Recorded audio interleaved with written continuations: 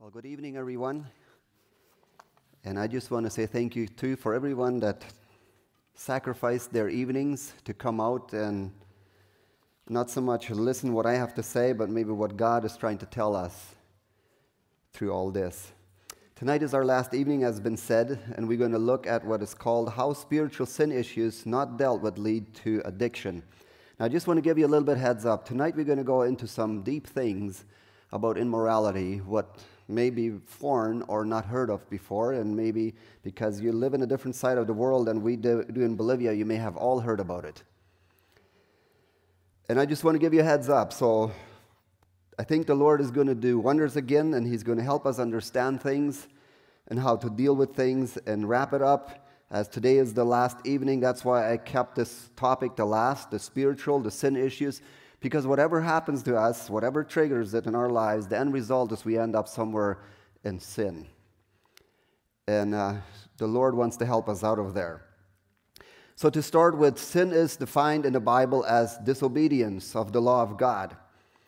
In 1 John 3 4, it says like this Everyone who makes a practice of sinning also practices lawlessness. Sin is lawlessness. So that's what the Bible says. Sin is lawlessness, it's against God's word.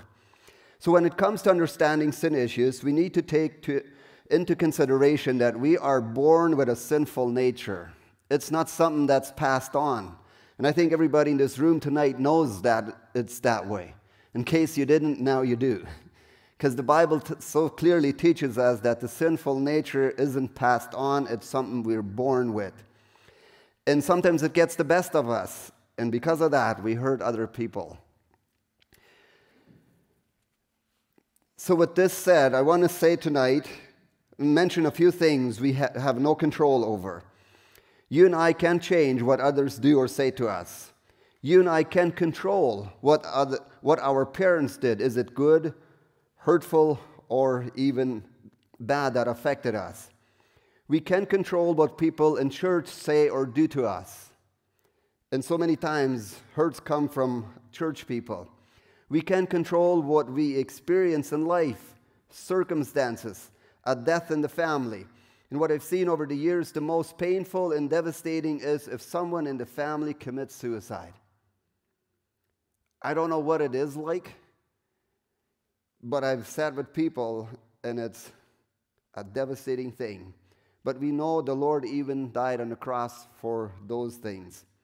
So, circumstances, people in life, pressure, and problems can emotionally damage us with the result that we're going, uh, with the result to going to emotional, we are going to emotionally respond to those pressures in life in one way or the other.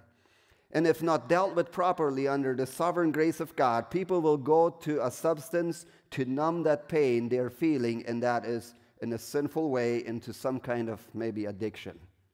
And if not addiction, they will try to cover it some other ways. In all this we have looked at, we have no control over, and still Scripture says in Ephesians chapter 4, verse 27, and give no opportunity to the devil. So, what I'm trying to say is, whatever we experience, whatever has been done to us, we have no control over, that doesn't give me the right to go into any kind of sin or addiction. Because no matter what happens in my life, scripture says in Ephesians 4:27, don't give any room to the devil.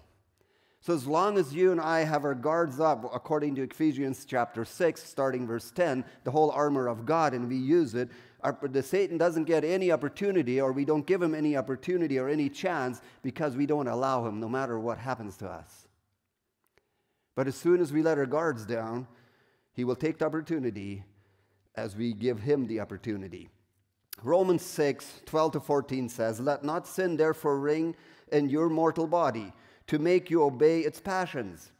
Do not present your members to sin as in- instruments for unrighteousness, but present yourselves to God as those who have been brought from death to life, and your members to God as instruments for righteousness. For sin will have no dominion over you, since you are not under the law but under grace.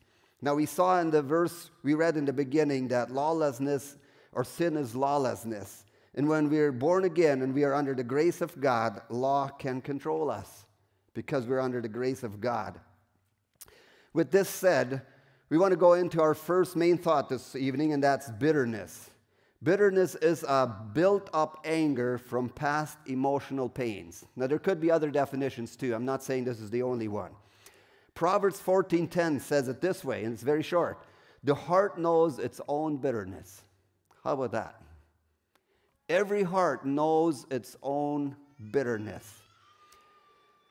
If you struggle with bitterness, or better said, bitterness involves our memories of how others have hurt us in the past. So, bitterness involves our um, memories. If you struggle with bitterness, and I would ask you, who hurt you more than anyone else? You would answer that question because you know exactly.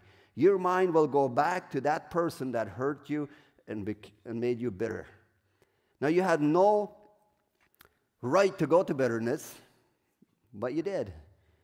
And if there's anybody in this room that hasn't dealt with bitterness, I praise the Lord for that person. I would like them to come up and tell us how it's done. I am one of them that's guilty about it too. So, bitterness involves our uh, memory. And if we struggle with it, it always goes back to the person that hurt us. Bitterness involves our attitude toward others for what they have done. So to say, where we are, whether we are angry at them, whether we feel rejected by them, whether we feel uh, alone because they rejected and did not care for us, we find that bitterness has its ways of getting to us and builds up and and, and, better said, it starts with anger and starts building up by the time we get so bitter about this person or about the situation that we just lose control over it. As soon as we get angry and bitter, we have lost control of ourselves. Another thing, bitterness involves our feelings of pain, our emotional response, the hurt and the emotional damage that we've experienced. So, what is bitterness in a nutshell? It involves our um, memory, it involves our attitude, it involves our feelings. So, that's why I ask you if, if we go back in our lives and if somebody asks you, and if somebody comes to you and he's an angry, bitter person, and he just leashes or whatever you say, sheds it all on you and says, This is how I feel and whatever. And if you would ask him this question, like I did, who hurt you more than ever or anyone else in the past? Normally, a person knows. Normally, they do. But so many times it comes from a very close relative. It can come from our parents, so we don't want to talk about it. So many times I've experienced, and this is normal, natural, when a couple or even young people came into the office when I was at this rehab center, I grew up so wonderful. They had such great parents. And there is good. Every parent has good things to offer. But as we continued, all of a sudden, with time, it came out there was a string of bitterness started somewhere from maybe a parent that they didn't want to talk about. And it's not to blame our parents, it's not to say, oh, it's all their fault. It's to just admit the truth and deal with it. But we don't want to do it because we think right away, if I say that, I make it sound like it's all my parents' fault. And because of my parents, that's who I am and what I'm doing. So I won't talk about it, so I make it kind of come out so that it's not my fault. And some people do that way. They definitely do. But the main thing is to know the truth, where it came from, not blaming anybody and taking ownership of it and dealing with it. It's easy for you and me to say to a person, I forgive you, intellectually. This problem is the problem is, can we release the pain from the, from the heart? Bitterness can only be resolved if it's resolved at a heart level, not at an intellectual level, because you can say a hundred times, I forgive you, and never re- release the person. Forgiveness must come from the heart where the pain is and the bitterness is stored. I'm going to give you an example. I've experienced it many times, and, and, and in the beginning, I couldn't really understand how does this function? How does this work? Although I had some training in it, but it took me a while to catch on. A couple would come into my office, and whatever the issue was, they would say, I forgive you. Now, this is interesting. When the husband, the man, has been unfaithful, the lady is always softer to forgive and easier to forgive than when the lady has gone, has been unfaithful. The man had a harder time forgiving than the lady. This is just what I've experienced. I'm not saying it's always that way. But here's what I was going to say.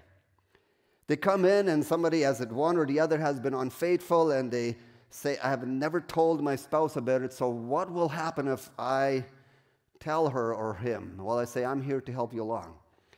So when this comes out, there's all kinds of reactions and emotions and, and so on. But then with time, one of them or the other says, I forgive you. Or it would just be cold and they look at each other and say, Okay, I thought so and I figured so and I was wondering if that was happening, but I forgive you. Two to three weeks or days later, most of the times the lady first was back in my office, crying out of control. Now, all that emotional stored up and that from this news is coming to surface. Now they have to deal with that emotional, what is going on. And out of that emotion comes all the bitterness and the anger. So just saying, I forgive you, many times from the head or from the knowledge of what we have doesn't work. It has to be dealt with on a heart level the pain, the emotions they experience by what has gone on has to be dealt with.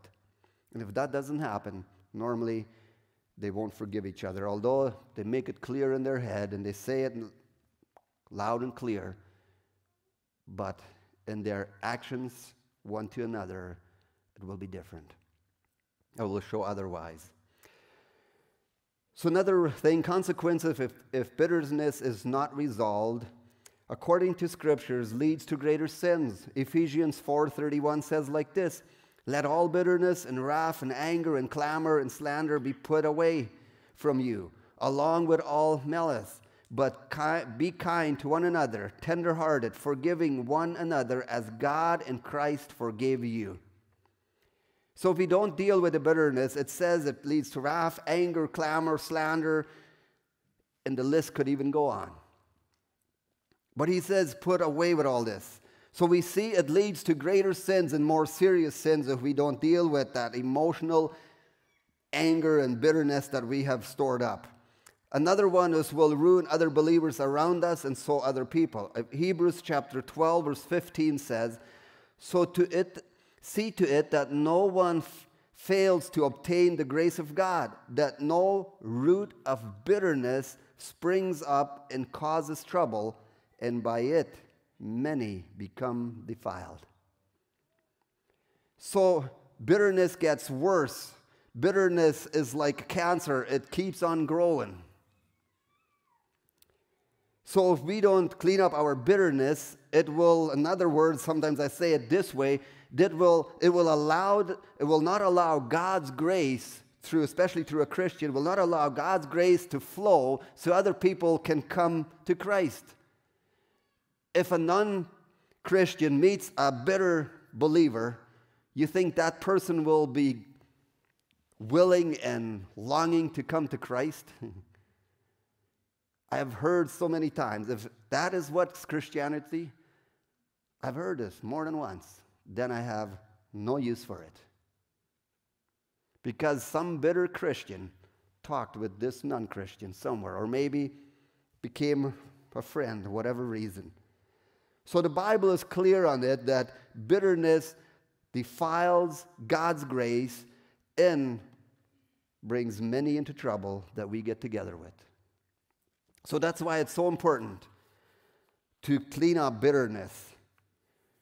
Another thing we see, are just uh, coming, uh, going back a little bit, bitterness involves our memories, our attitude, anger, our feelings. It's easy for you and me to say to a person, I forgive you, just by our intellectual head knowledge, but don't mean it from the heart, and it has to be dealt with from the heart. If not, it will have consequences way beyond you and I can imagine. And if a person hasn't dealt with her or his bitterness and marries that way, that bitterness is carried into the marriage. And all those things will one day, that bitterness will one day turn against that person they have married. It's interesting how that works. That's why I said, you, er, said to you guys earlier that only 70% of couples, or only 30% of married couples, figure out their problem. 70% can't. Because all that, that you and I have experienced and haven't dealt with, we bring into the marriage. And all those things, most of the times, and if not mo- uh, all those things, then at least a high percentage of the things we have been doing to other people will turn against our spouse.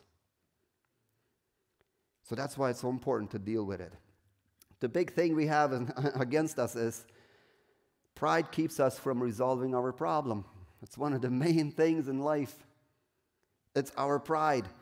2 Timothy 3 2 says, and, and definitely this talks to, Paul talks about in the end times how cold people will be, but we can take an application out of it. It says, For people will be lovers of self.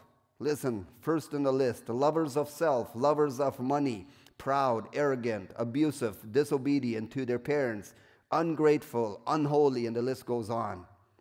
Pride in itself is self centered, focused on oneself. They are blind to the needs of the others. So, if we're a prideful person, we won't see the needs of others. It affects our relationships, our priorities, our ministry, our attitude, and the way we talk. The biblical principle is to repent from pride and regard others higher than ourselves. It's the opposite than we normally would like to do it. And if we have an issue with pride and we don't deal with pride, and we get married with a high prideful attitude, it will just happen that your spouse, is it the lady or is it the guy? One of them will be damaged by that prideful attitude.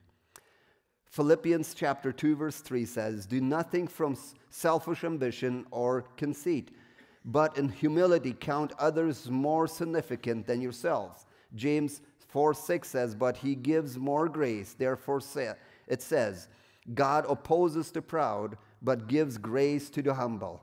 We see very clearly that the scripture tells us do nothing from selfish ambition, but count others higher than yourself. And he says, but in humility, lift others up. James 4 6 says, God opposes the proud, but gives grace to the humble. So we see two things that are very important in spiritual issues it's bitterness that we have to deal with, and the pride that keeps us from repenting. With this, we want to go to our next one, and this is one that is, will go very deep, and that's called moral failure. In 1 Thessalonians 4 3 and 4, it says like this for this is the will of God, your sanctification, that you abstain from sexual immorality, that each one of you know how to control his own body in holiness and honor. So the scripture over and over, and I just used one verse because it would give a long list that tells us that we have to live or give our body to or live in sanctification as born again believers and abstain from any and every immorality. The problem why immorality is getting worse because of all the available media options people have nowadays. It's so easy to get into it, so easy access to it. And it's because our world today, because of technology. Now, we can't blame technology, but it is partly because of that. Here are some statistics to help us understand the problem we are facing in North America, and I hope that this won't uh, put too much uh, goosebumps on your arms or your body.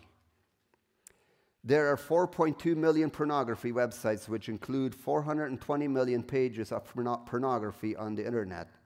Now, that's a lot. And I'm just going to put this in here, I don't have this in my notes. a percentage of this pornography is very dangerous. It's all dangerous. But there's a percentage of this pornography before it's put on the internet for public people. And I've said with people, that's why I know this.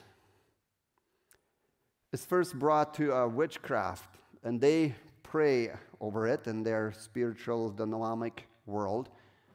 And it's almost as they put a curse on there, and it has a satanic power behind it, although everyone, every pornography is wrong and anti God, but this one is special.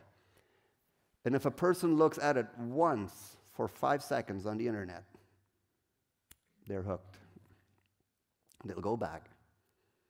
And it basically doesn't matter if you're a Christian or a non Christian.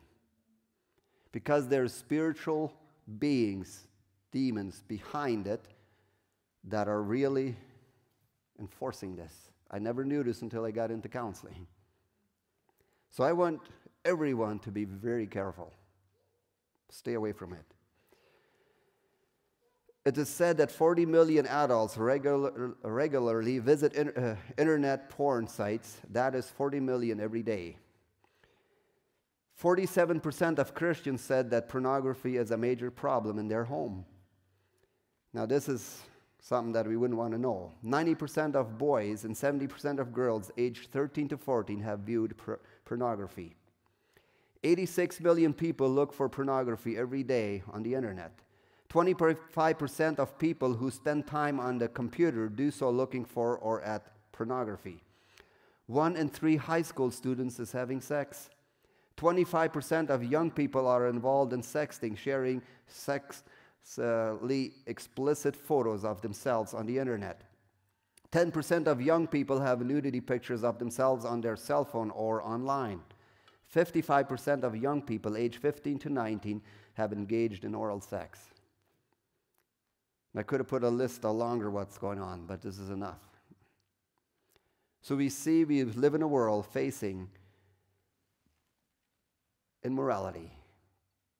But the good news is, Jesus said, I came to help you. So no matter how impossible it sounds for us, there is hope in Christ. There is hope in Christ. What Jesus did for us on the cross, the sacrifice he was willing to pay for us, there is hope. So, what causes a person to get addicted to pornography? Today, we're definitely going to talk about addiction, and this is one of the most common, worst addictions, maybe, that humanity struggles with, and us as Christians and churches nowadays. A normal saying is, or a secular saying, we could say, Show me your friends and I'll show you your future. But let's make it more accurate with scriptures. 1 Corinthians 15, verse 33 says, Do not be deceived. Bad company ruins good morals. Scriptures are very clear. Bad company ruins good morals. So we have to be very careful what we do in our lives. So the question is why do people get into pornography?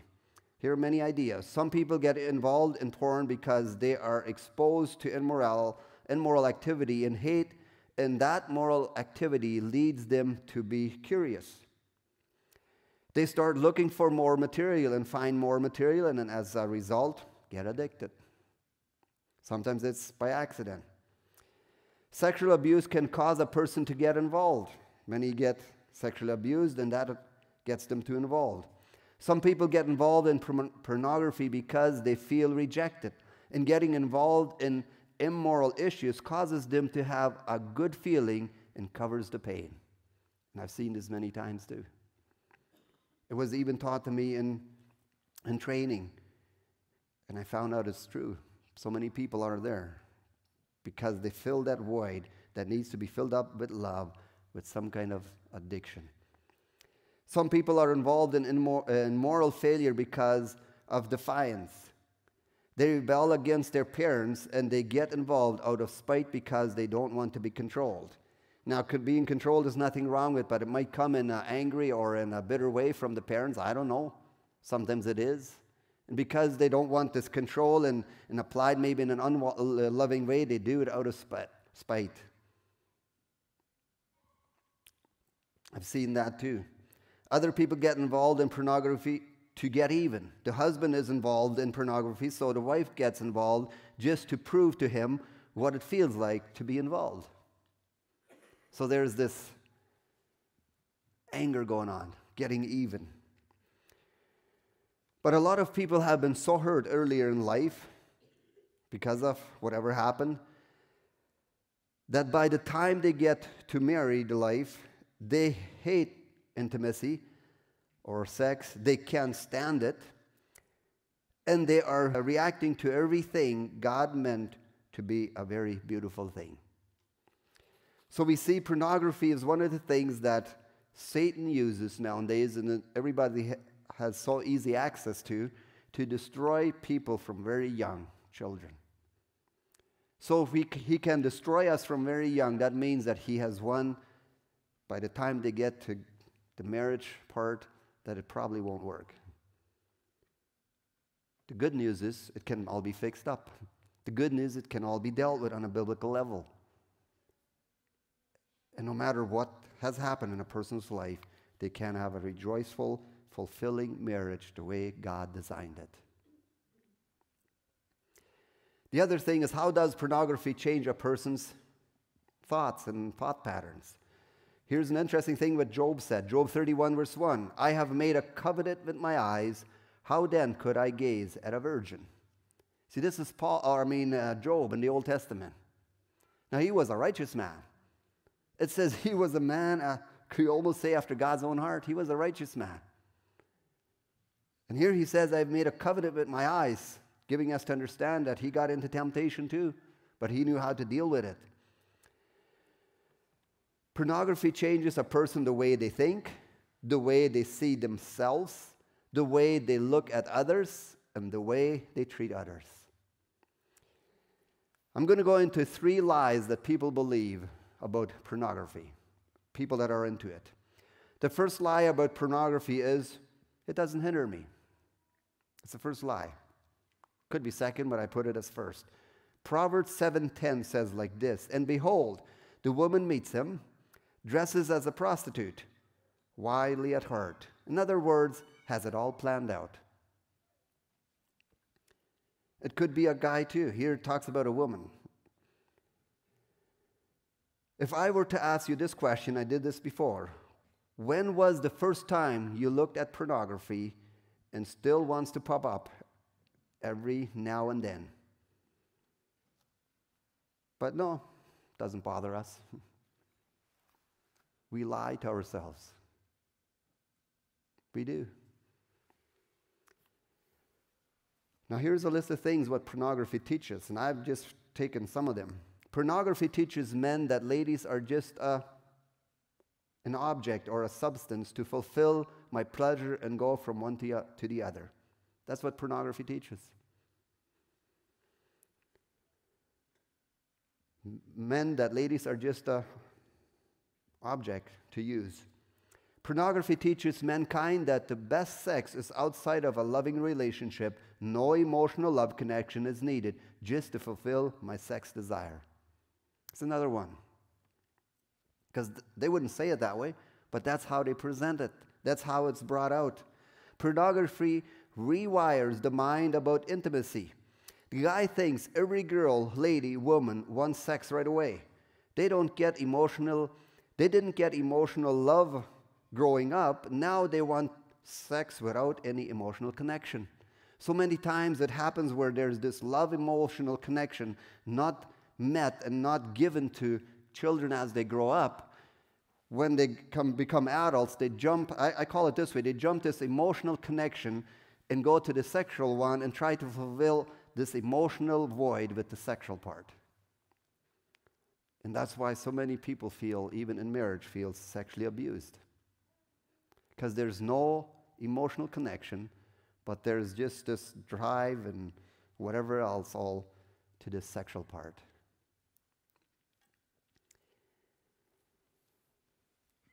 It's almost not to comprehend how Satan tries to mess us up and we get the wrong idea about what God designed it should be. Another one, the opposite is that every girl, lady, woman wants an emotional love connection without sex. And that can lead to the sexual relationship, which then is fulfilled the way God designed it. It's also guys. Most guys want an emotional love connection. And if they don't want it, it means it's distorted very youngly. And I'm going to go that, into that a little later. Pornography makes the guy think that a lady likes the immoral behavior from him, and if needed, put pressure on her. Wrong. It's not that way. But that's what pornography does. Pornography makes a guy believe if he kind of behaves in an immoral way in front of a lady or a girl, that will make the lady think, oh. And it's not that way. Just so you get this right, pornography makes the guy think that a lady likes the immoral behavior from him, and if needed, put pressure on her. Maybe a little bit pressure would work if she doesn't get the hint. And it's all wrong, it's abusive. 19% of young people suffer from premature sexual arousal. Now, what does that mean? The way I understand God has created us, and I just understand a very tiny bit of it, that as we grow, there comes a time when puberty time comes, and that's when these hormones should start to be functioning, and that's how God created it. But if a person gets sexually abused by, and I can talk out of experience, by three, four, five, and maybe even younger years, that sexual hormone that's supposed to sleep until the age of or 12, 13, 14, somewhere out there, is being awakened and stimulated, and something happens to that person that they don't know how to handle and deal with, and this young mind is all confused. The damage that happens when it happens so young. And again, I just want to give you hope. No matter what the struggles we have gone through, no matter what has happened to us, God, through Jesus Christ, has hope. He wants to help us with it. So that's why 90% of young people suffer from premature sexual arousal because of the sexual abuse they've gotten very young and their sexual hormones have been awakened way before they should be. So the first lie is it doesn't hinder me. Do you still believe that? I know you didn't from the beginning. The second lie about pornography is I'll stop later. How about that? Sounds good, huh? I'll stop later. I will continue secretly, but I will stop later once I'm married. Not so. Because the emotional love connection that is supposed to be between a married couple is cold. I've said this before and I'll mention it more than once today. A person in pornography or in any immoral failure can't love their spouse or any other person more than 3%. So that's why when somebody in a marriage is unfaithful and he tries to keep it secret and he thinks he has it all covered, the other spouse feels something because they don't get what they need. So they only get 3% of that emotional love connection they should get from their partner. The rest is given to that other person or people. Here's an interesting thought dopamine is the chemical released in your brain that makes you feel good. Now, when we look at Psalm 139, verse 14, it says, I praise you, for I am fearfully and wonderfully made. So, this chemicals we have and how God created us, which I only understand a very tiny bit about, and I know medical doctors that study this and dedicated their life, they know and, and always learn more about how the body works. But according to God's word, we are fearfully and wonderfully made. And I want to tell you a little bit, or give you maybe a little bit to understand what this dopamine does. And as I just said, it's a chemical released in your brain that makes you feel good. When this chemical is messed up with pornography, it starts functioning totally different about love and intimacy. See how Satan tries to get to the root of it to mix it up? This chemical makes you feel good about what's wrong and makes you feel wrong of what's right in God's books. Listen to this so you understand. There are many guys out there that believe God has made them to love guys. There are many women out there that believe God has made them to love women. If a guy at a very young age gets sexually abused by another guy, this dopamine chemical or a, uh, um, you know, dopamine chemical or hormone gets programmed to love guys in a sexual way and emotional way. And that's what Satan likes to do program the person against God from as young as possible. If a girl at a very young age gets sexually abused by another girl or lady, her dopamine chemical gets programmed to love other girls or ladies in a sexual way. So their central love component is all messed up. So they really believe and are convinced we are made that way.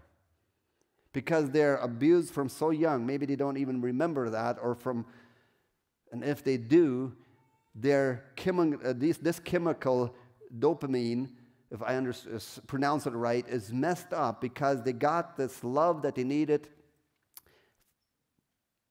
in a wrong way, in an abusive way. And they didn't need this sexual love at that time, they need this emotional love. What we see is that so their central love component that God created in a person, this emotional love connection is malfunctioning now because somebody messed it up. And that's why people are so convinced that this is the way God created them.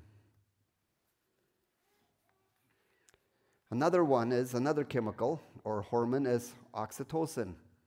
I could have used more, but I've just used a few to give, get the point across and help us understand a little bit. Oxytocin is the chemical or hormone that is called the love hormone. It is also associated with sympathy, trust, sexual activity. So if a child has been treated immoral, immorally from very young or has watched pornography, their dopamine and their oxytocin is all wired up wrong. Their understanding about feeling love and trusting is all messed up. So if this happens to a young boy, they will really believe. Now, let me use a little bit of an illustration here. And this is a story that I read in, in the Caring for the Heart material. And I won't say it exactly how it is there, but just kind of paraphrasing. A couple had a boy. They were both working all this. They never had time for him. But they had an uncle. He was, I guess, retired or something, and he had time. So they would bring him to his uncle, this six year old boy. And what happened is this uncle gave the attention he needed emotionally, which is nothing wrong with. He did everything to him emotionally what his parents should have done. But the problem was, this uncle was and immorality. So from six years on, he started abusing him sexually. This young boy's, so to say, dopamine and oxytocin was all wired wrong. So he grew up as a homosexual, believing he loved guys and he loved to have intimacy with guys. One day he finds a woman, he gets married. If I remember correct, a few days after he got married, he turned his wife and he says, I don't like you, I don't love you, I'm a homosexual. I've forgotten how many years they were married until they went to counseling. And the counselor, a uh, counselor helped them through, understand what had happened, dealt with it on biblical level. He confessed his sin. He admitted how he had been abused or misguided in all this, confessed his sin, cleared everything up. And on the way home, he turned his wife, and he couldn't believe, if I may use this word, how he lusted after his own wife. That had never happened before. And that's how it's supposed to be. But if it's all get all gets messed up from very young, Satan has a way to mess up people from so young so they really believe this lie is true. And it's hard to convince them otherwise. But there's hope. Jesus has hope. So we have here oxytocin is the chemical or hormone that is called the love hormone. It is also associated with, as, as said, sympathy, trust, sexual activity. So if it's a child, uh, like I mentioned, let's put it this way. So if all this is messed up, no wonder a couple can never connect emotionally and trust and love the, the way God designed it. A person in pornography thinks wrongly about love and feels wrong about love. Sitting with people in counseling, I have been shocked to see how a female struggles to let another female go in a sexual immoral way, and how a guy struggles to let an, go of another guy in an immoral sexual way. Satan wants to believe, Satan wants us to believe a lie, and that's why he wants to mess us up from as young as possible. So, what we see with these two hormones, if they get messed up very young, the person will fall in love with another guy, which a guy will fall in an intimate sexual way in love with another guy, which shouldn't be. He will trust that person that that is how it's supposed to be. So, this emotional love connection, this sexual relation, and this trust where this chemical works in our bodies and our minds, better said, in our minds, is so messed up that the person totally believes what's wrong is right and what's right is wrong. This is the second lie. The third lie is, or the second lie was, I will stop later. The thing is, with all the things we have seen, they won't stop unless they go seriously for help. The third lie about pornography is I'm not hurting other people, it's just me. I'm not hurting other people. If I'm in pornography and I just keep it for myself, I don't hurt anybody, that's a lie. A person that lives in pornography can show no more than, as I already said, than 3% love to another person. So you can see what that will do in a marriage. Some, or the result is that a person is cold, cannot feel for others, self focused, angry, lives in fear somebody will find out, pulls socially away, becomes a very lonely person inside, or if not, he goes the other direction and goes into prostitution. So the third lie is hmm, I'm not hurting anybody. Does it sound like you don't?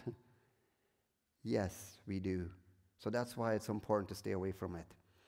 Another important fact is pornography in church stays silent. Statistics say that a very, or first a Bible verse here, Proverbs 30, verse 20 says, This is the way of an adulteress. She eats and wipes her mouth and says, I have done no wrong. I'm just going to take an application out of it. As an adulterous woman is so blinded, so messed up, it says she eats and wipes her mouth and goes from it and says there's nothing wrong. As I just said, what happens when we get messed up that way, or a person gets messed up. So does this lady says there's nothing wrong with it. It could also be a guy. He's so messed up and he goes over and does it over and over. They joke about it, they make jokes about it, they, they talk freely about it, they, they are so cold to it that it doesn't bother them anymore.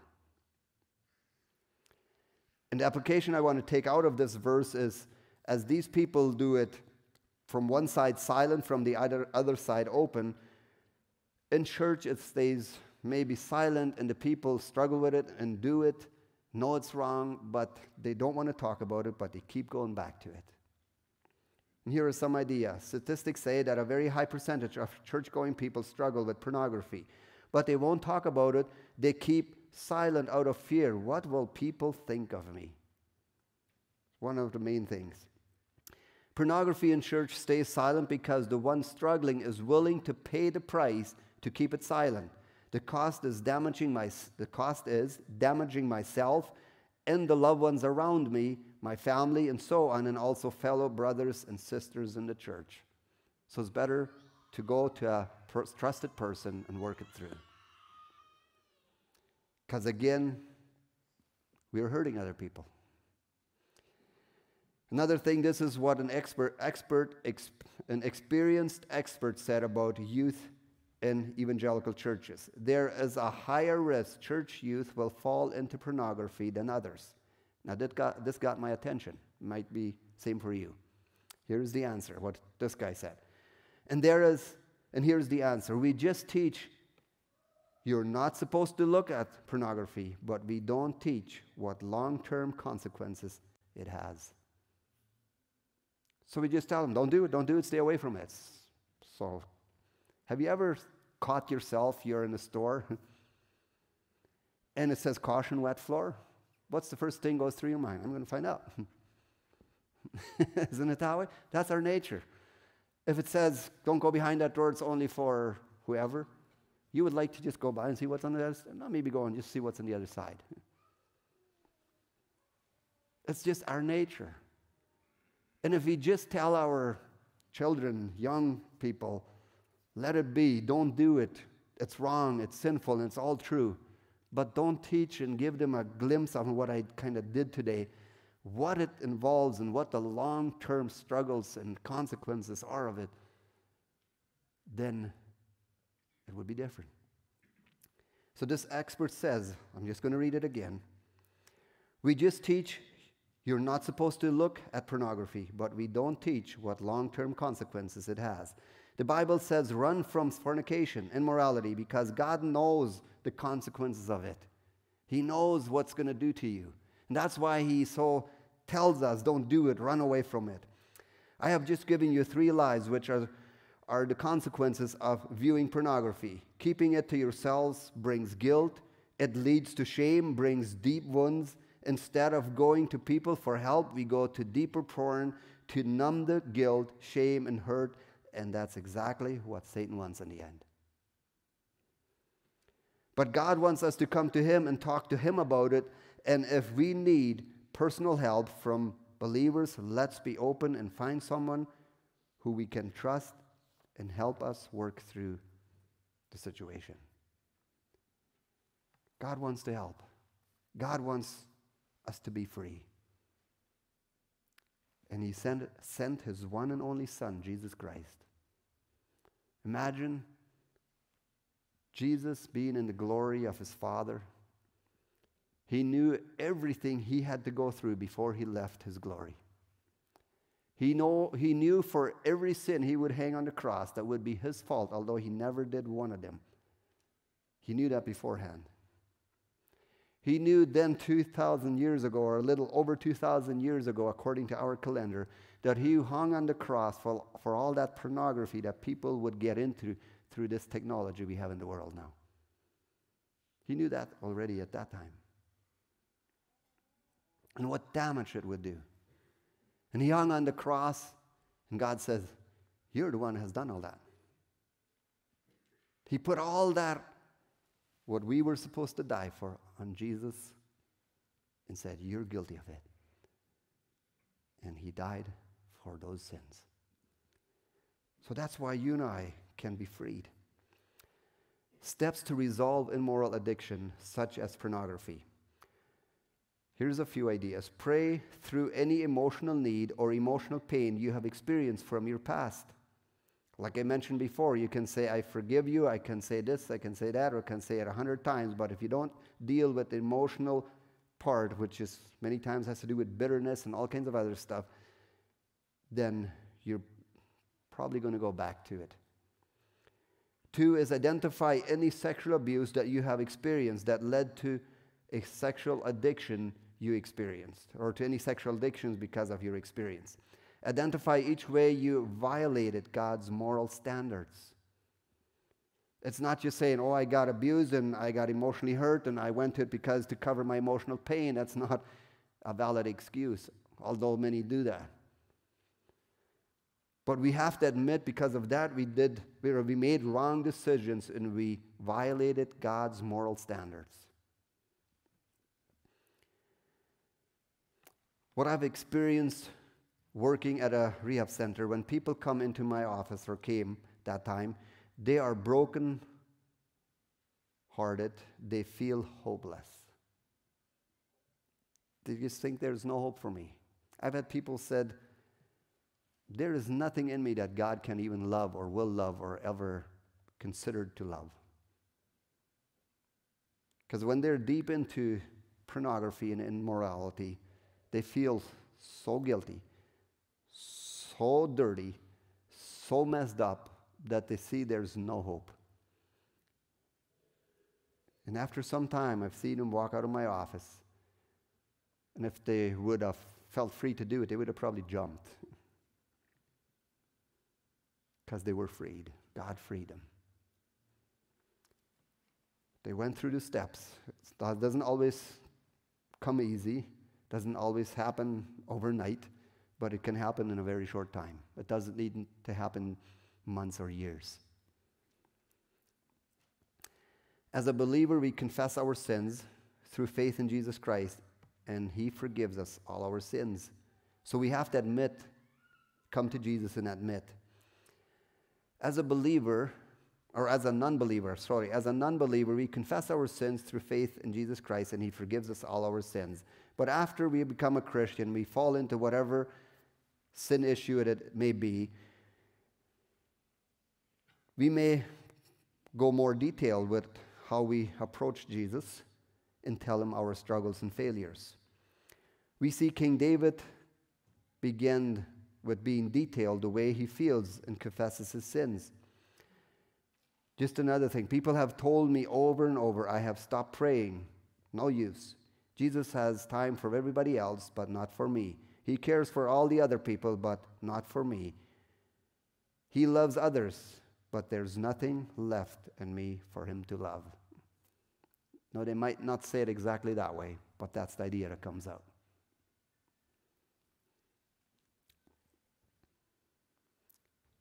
Satan wants us to believe a lie that there's no hope. And there is. No matter what addiction, no matter what struggles you have been in, or maybe you're struggling with it and came out of the addiction and you praise God and, and are freed, and I'm praising you God, God too if that has happened to you. But if you're struggling with something, there is hope. There is hope. If you have been freed from whatever addiction or stronghold you've been in, steps to stay free from moral addictions such as pornography. Number one, guard your thoughts and your desires. It's not your actions that you have to guard, it's what you're thinking and what you're desiring. That must be checked. So many times we have it backwards.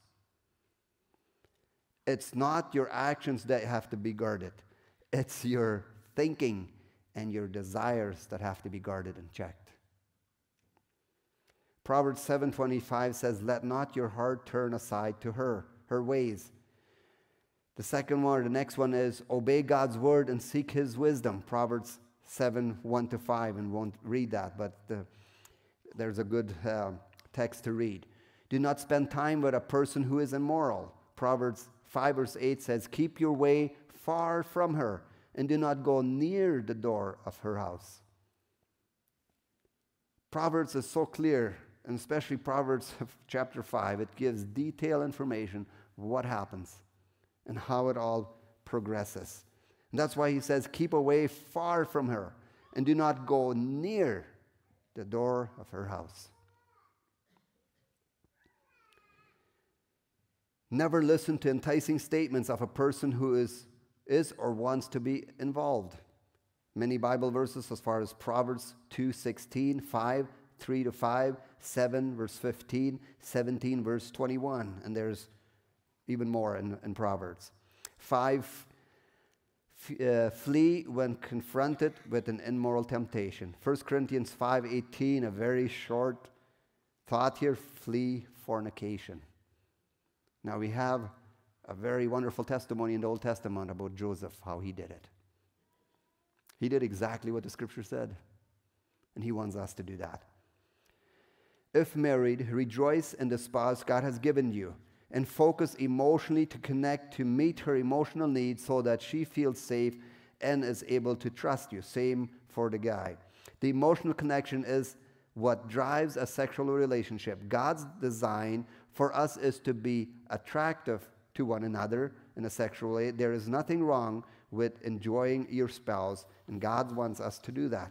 But for that, we have to clean up whatever is hindering it. So here we have steps to stay free from immoral, immoral addictions such as pornography. So to wrap it up this evening, I'll go shortly over the four aspects, facts we have looked at. And the one is how pressure patterns form a person which can lead to addiction. And I just want to give you a few examples to understand this. For example, disciplined people tend to put pressure on others. There are some in this room that are very disciplined, and there are some that aren't. And that's normal. Both of them are okay. but that's just how we are. Being a disciplined person is not a bad thing, but that discipline can damage a uh, damaged person around them if there is an impulsive person that can't focus with the pressure of a disciplined person with expect expectations. To be a dominant person or to be assertive is not a bad thing.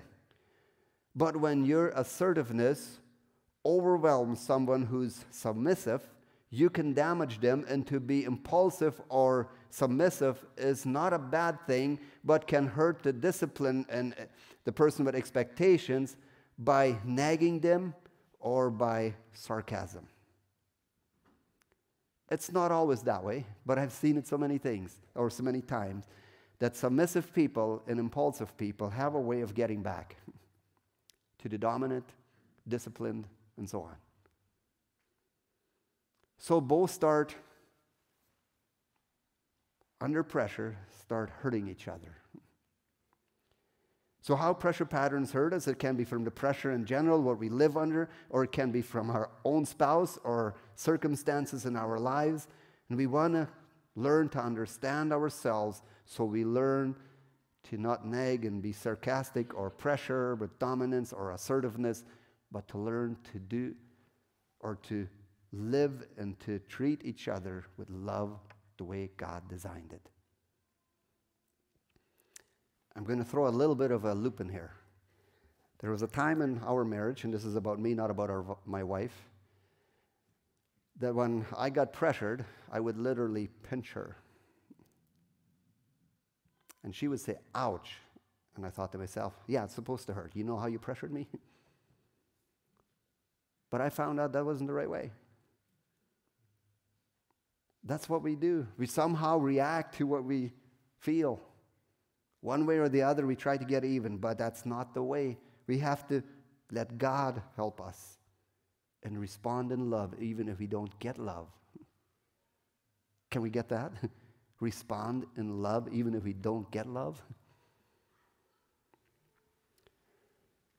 Whenever, whatever the personality, talents God has given us, we should be careful to use them to help other people and not to provoke anybody to end up being in severe or being severely hurt and go to any kind of addiction or sin issue.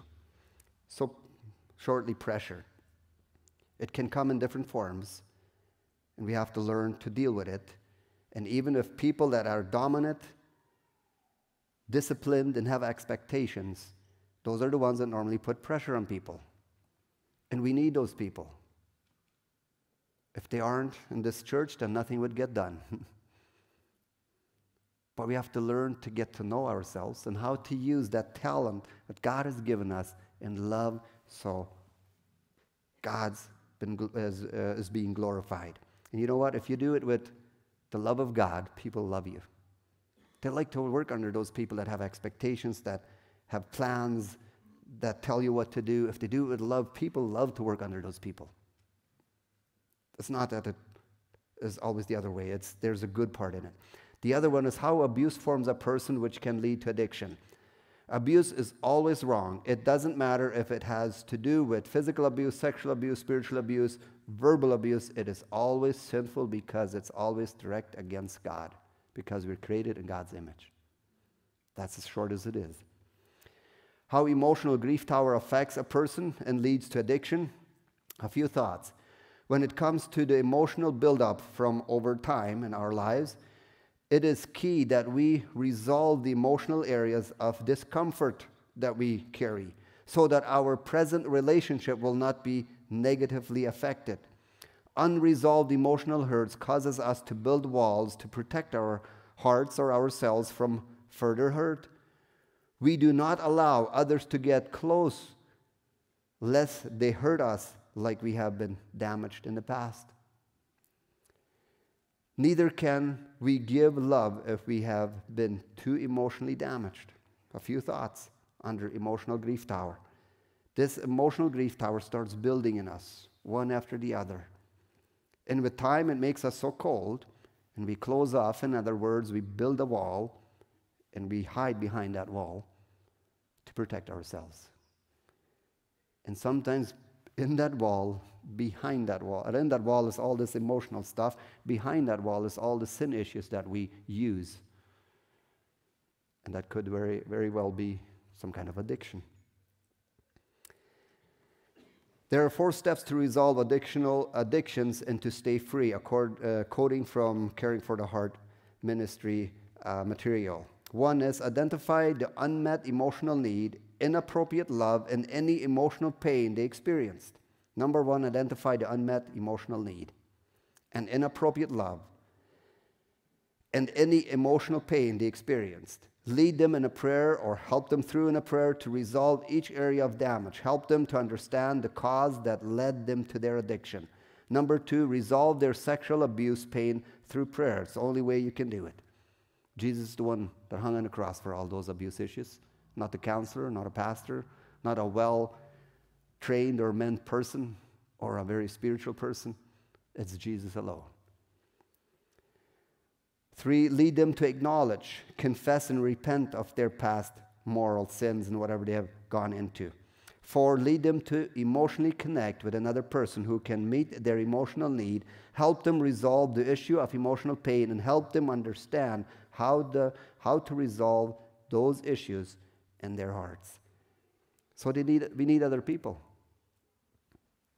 That's why God created us for relationships. He didn't create us to be alone. But sin and addictions does exactly that. Uh, isolates us, closes us off. We can be a person that might be always among people, but very closed inside. We put on this nice friendly face and smile. But deep down, we are the most lonely, saddest, hopeless person that walks in the middle of that society or church or whatever it is. 1 Peter 4 8, we'll come to conclusion with these two verses, which we started with. And above all things, have fervent love for one another for love will cover a multitude of sins. John 8, verse 31 says, If you abide in my word, you are truly my disciple, and you will know the truth, and the truth will set you free. So, according to God's word, in a nutshell, God's love and God's truth will set us free through Jesus Christ. Nothing else. Our part is are we willing to give in and say, I'll let God do that for me? Let's bow in a word of prayer.